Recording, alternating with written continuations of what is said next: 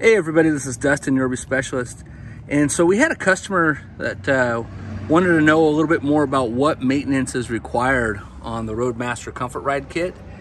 And so literally, you know, this unit here is a uh, 2021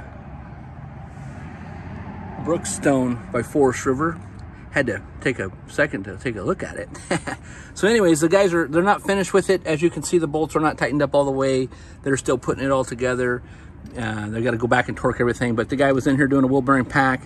Uh, I uh, just want to show you how clean we clean up everything when we do do a wheel bearing pack. If, if all possible, we get as clean as possible. On the Roadmaster slipper spring set, the only maintenance is really we put a wet bolt in back here in the rear hanger and we put a wet bolt in in the front hanger. So literally all you have to do from this point forward is lube those four grease bolts that we add.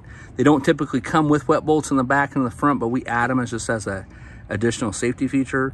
Um, on the plate for the U-bolts, it's always all new U-bolts when we replace this. So when you're coming in, you would gonna, you know, let's say you're here for your yearly maintenance to do a wheel bearing pack or you're actually done this system already, make sure you have your shop go back and check the torque on the bolts, check the torque on the bolts on the U-bolts, check the torque on the bolts on the pumpkin or apparatus, make sure that none of the bolts that are the self-tap screws, as you can see, these are just self-tap.